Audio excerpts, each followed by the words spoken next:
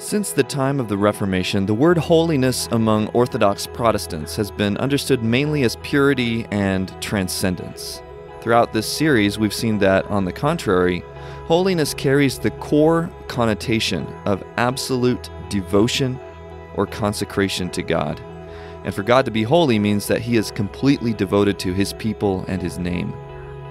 But today we want to address a couple objections and talk about how we can go forward from here with Bible translation. I'm Andrew Case, and this is Working for the Word.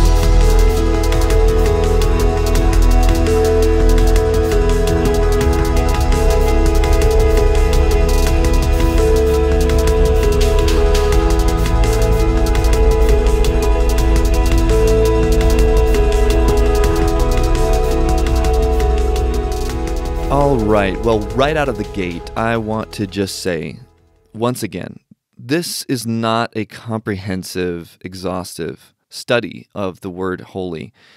And I really, really want to encourage people to get into this more deeply, share it more widely, and address some of the things that I haven't addressed. I'm, I'm going to be really transparent that I have not gone through with you every single occurrence of the word holy in Leviticus, for example, and see how all of these different uses fit within our context that we've been talking about.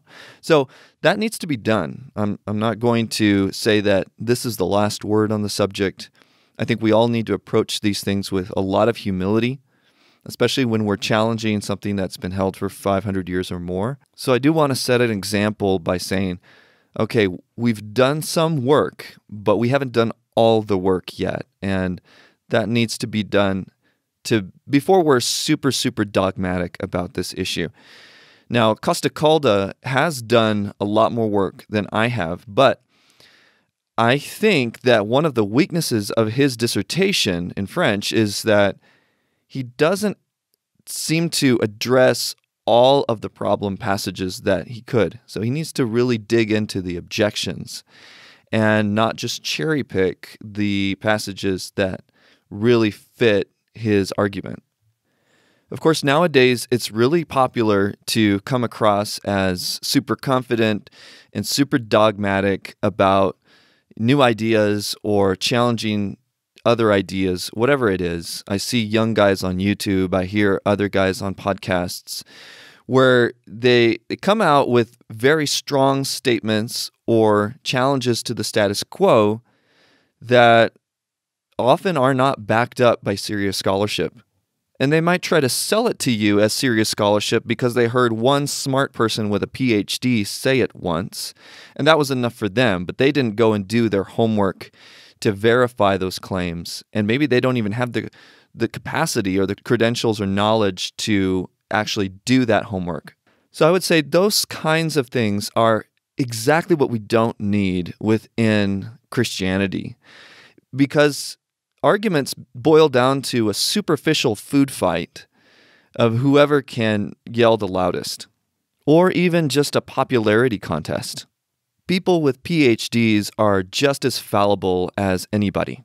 They can be extremely driven by emotional motivations that often blind them to the evidence their own research produces. To take an example from the world of science, Albert Einstein was a prime example of someone who adamantly rejected the evidence before his eyes for the last half of his life. So, after his groundbreaking work on the theory of relativity, a lot of work on quantum theory began to surface. And so scientists were having to do a complete paradigm shift in their view of the material universe because of quantum theory. Einstein did not like quantum theory. For the rest of his life, he kicked against it, and he basically dedicated years and years just trying to poke holes in it simply because he had this emotional reaction to it a, an intense dislike of its nature and what he thought were its implications. And so he dedicated all of this energy just to undermining the facts that were in front of him simply because of some very odd presuppositions and emotions that he had that went against that discovery. So, all of that to say, if this can happen with one of the smartest people that have ever lived, the icon of modern intelligence, then it can happen to anyone, and we need to be careful. Now, let's get to the objections, shall we? One objection that arises is from 1 Thessalonians 4 7 through 8. So let me read it. For God has not called us for impurity, but in holiness. Therefore, whoever disregards this disregards not man, but God, who gives his Holy Spirit to you. So you can see there the contrast, right? He's not called us for impurity, but in holiness. So people would say, since there is a contrast between impurity and holiness, it would follow, obviously, that holiness means the opposite of impurity, right? Purity. And this could very well be so within this context, but it is not absolutely required. So, in the definition that we've proposed in this whole series, that holiness means at its core total devotion to God, especially when we're talking about us, then holiness here definitely contrasts with impurity. Devotion to God certainly includes purity. And I want everyone to hear that. we're not saying that it never means that or could lead to that. It certainly includes purity and a lot more just as devotion to God includes love and all of those things. So, in other words, Paul would be contrasting something much greater and comprehensive than purity for effect. In essence, he might be saying something like, How can you allow yourselves to engage in something so base as impurity when God has called you to so much more? All out devotion to Him. So, an example of this style of writing in Paul can be found in 2 Timothy 1 7. So this is what it says For God gave us a spirit not of fear, but of power and love and self control. So there's that contrast, the same word alla again in Greek to contrast it, but of power and love and self control. So this is the same contrast that is used in 1 Thessalonians 4 7 that we just looked at. But it's obvious that he is not implying that power or love are the technical opposites of fear slash timidity, which is the translation of deilias in Greek, nor that deilias is the opposite, the direct opposite of self control. So let me read that again. God gave us a spirit not of fear, but of power and love and self control. So, all that to say that when we read 1 Thessalonians 4 7 through 8, God has not called us for impurity, but in holiness, it doesn't necessarily imply that holiness is the direct technical opposite of impurity.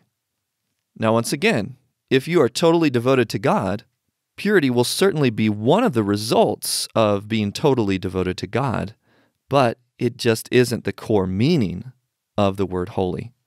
Now, I think it would be interesting and helpful to go back and read a larger chunk of 1 Thessalonians 4 to get the broader context around these two verses that we just looked at. And I think this is important because it is a passage about sanctification and what sanctification implies. And as you know, sanctification has at its root the word to become holy, you know, holiness. And so if we're to be sanctified, we have to understand what holiness means before we strive towards sanctification. And so let's try to read this, thinking through our new understanding this new lenses of our understanding of holiness meaning total devotion to God. So here's what Paul writes. Finally, then, brothers, we ask and urge you in the Lord Jesus that as you received from us how you ought to walk and to please God, just as you are doing, that you do so more and more. For you know what instructions we gave you through the Lord Jesus. For this is the will of God, your sanctification, that you abstain from sexual immorality, that each one of you know how to control his own body in holiness and honor, and not in the passion of lust like the Gentiles who do not know God that no one transgress and wrong his brother in this matter, because the Lord is an avenger in all these things, as we told you beforehand and solemnly warned you. For God has not called us for impurity, but in holiness. Therefore, whoever disregards this disregards not man, but God, who gives his Holy Spirit to you.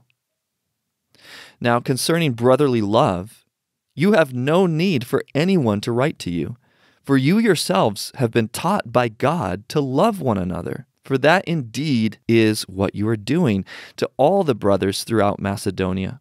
But we urge you, brothers, to do this more and more, and to aspire to live quietly, and to mind your own affairs, and to work with your hands as we instructed you, so that you may walk properly before outsiders and be dependent on no one. So that was 1 Thessalonians 4 1 through 12. And you can see here Paul working up to this larger perspective of total devotion to God, which is God's will for them, their sanctification. So he's basically saying, why should you be fooling around with impurity, with lust, like the Gentiles, these small, base things, when you're called to something much greater? Total devotion.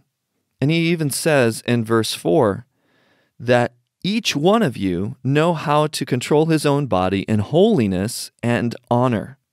So if you're controlling your body in holiness, total devotion to God, and honor, it's going to be really different from the passion of lust of the Gentiles. Now let's go on to another objection. This objection is not as serious as others, but let's talk about it. Luke 1:35. This is the whole scene of the angel announcing to Mary that she will bear the Messiah. And the angel answered her, "The Holy Spirit will come upon you, and the power of the Most High will overshadow you. Therefore the child to be born will be called Holy, the Son of God." So, in this context, Mary has just asked how it would be possible for her to bear a child since she is a virgin. So, it appears that the angel is emphasizing that her child, though born out of wedlock, will not be the product of an unclean relationship. Rather, he will be pure or holy. That's how some serious Bible scholars would argue. Now, the context, however, does not require this perspective. A more compelling interpretation to me is that Mary simply wonders how she will have a baby without physical union with a man. The angel gives a simple answer that the Holy Spirit will make her conceive. And since he will make her conceive, the child himself will also be holy like God's Spirit. So, the logical result of being associated with the Holy Spirit's work in the conception is for the one that's born to be holy. So, in other words, if the child is going to be the son of a holy God, he also will be called holy. So, what I'm getting at is that purity is not necessarily the issue in the text. Rather, it is of relation to God and being the one who will manifest God's full and fully committed character on earth. So, you know, this this makes total sense when you think about the work of Jesus. When you think about the advent of Jesus. What does it communicate?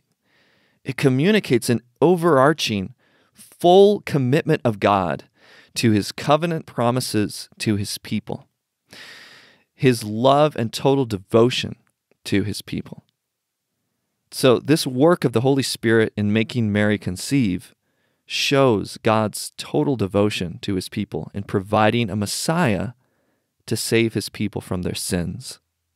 So, after looking at those objections, I know I should look at about 50 objections if this is to, to be completely compelling.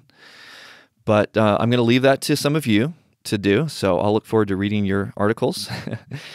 but we mentioned at the beginning of this paper, you know, this is about Bible translation at the end of the day, right? This podcast. We want to know what to do now with this knowledge. If this is correct, how are we going to move forward in Bible translation, especially in contexts where, you know, outside of the English speaking world? I will give you a little anecdote I was in Cameroon uh, quite a few years ago and in the Northwest area, which is the Anglophone area. And I got to shadow a handful of translation projects that were going on, both with Seed Company and Wycliffe and, and SIL, all of them together helping with these projects.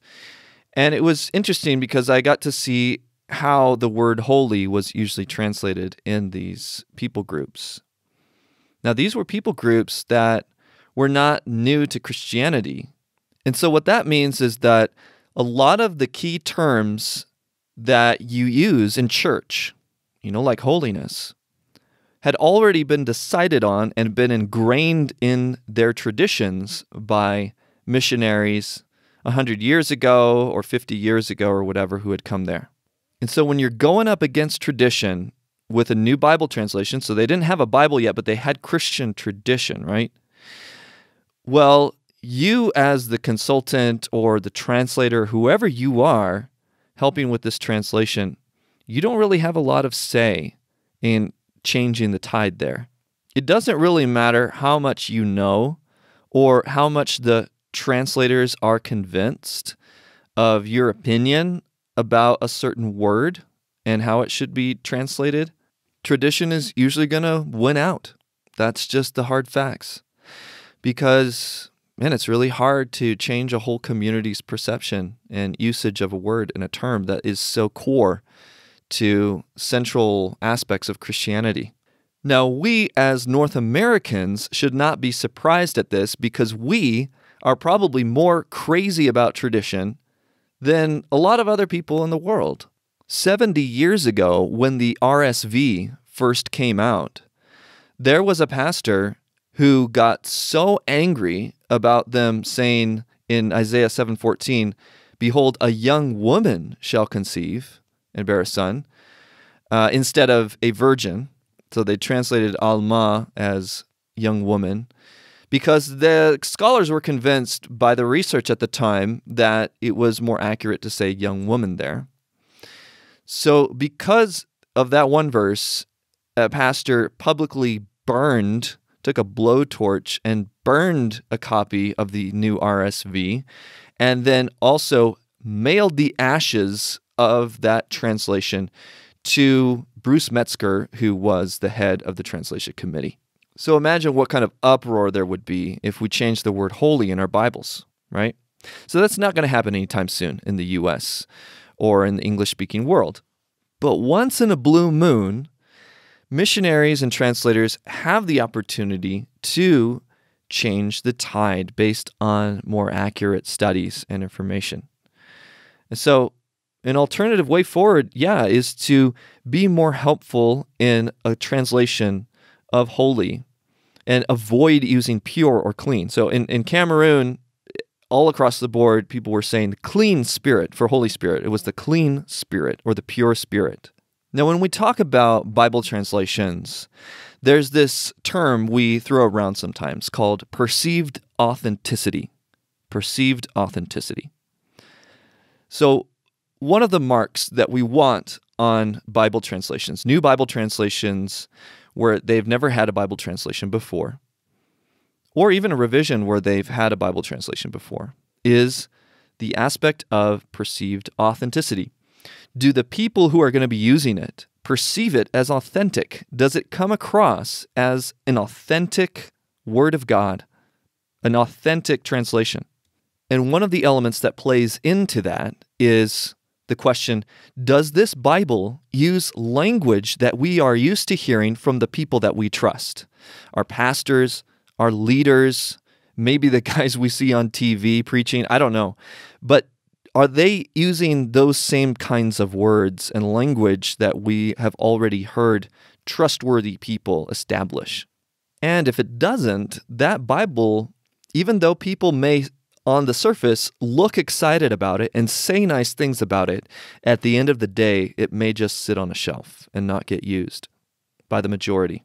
So, once again, once the translation of a name is established, especially a name so pervasive and primal as Holy Spirit, it's exceedingly difficult to reverse the decision.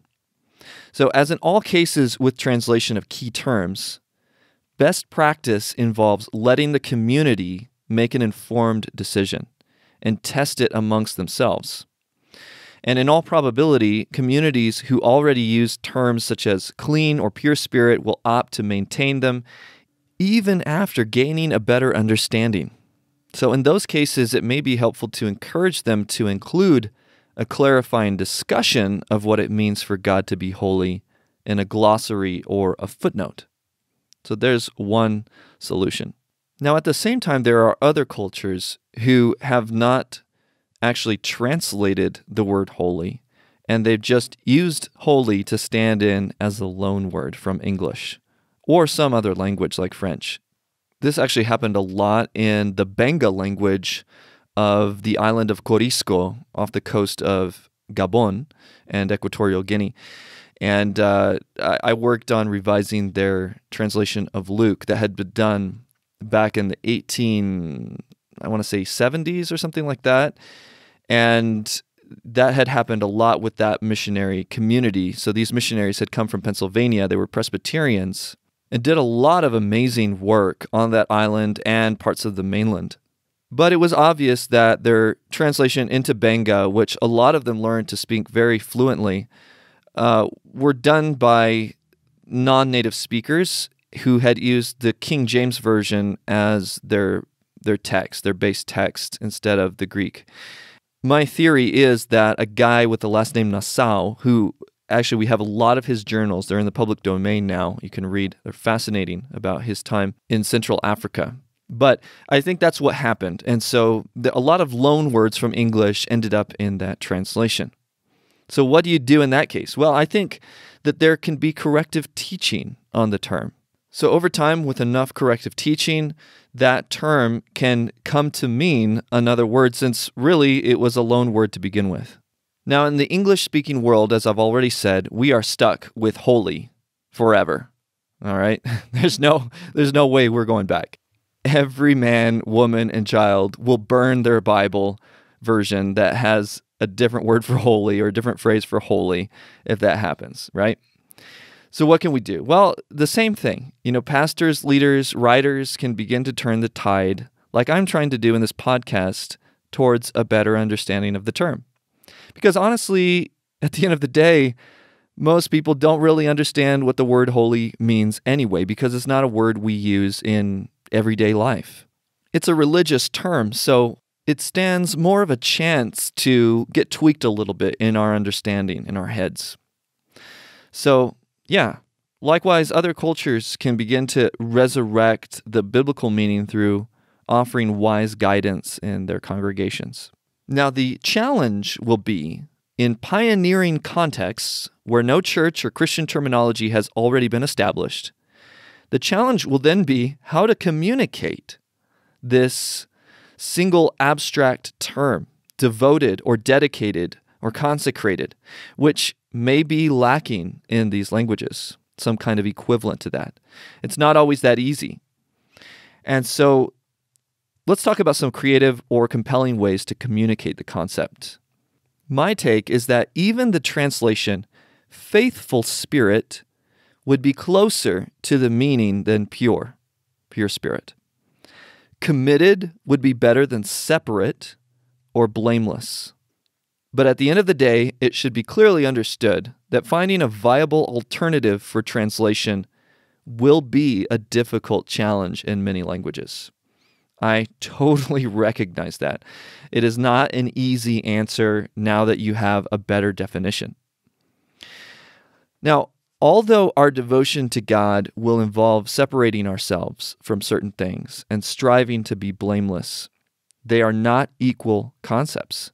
Just as loving one's wife is not the same as avoiding pornography, even though it should include that. You get what I'm saying?